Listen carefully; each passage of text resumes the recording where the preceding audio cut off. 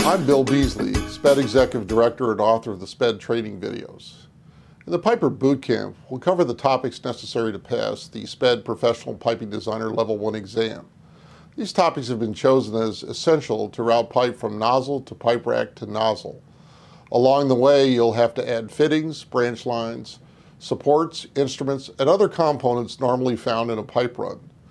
To route pipe correctly, you will also need an understanding of how pipe is fabricated, supported, inspected, and erected on site. When you complete all topics, take the module final exams or PPD Level 1 exam as appropriate. When you pass, be sure to complete your PPD application and submit it along with a resume and letters of recommendation to spedservices at spedweb.com. That's S-P-E-D-S-R-V-S at spedweb.com. Thank you for your support of SPED.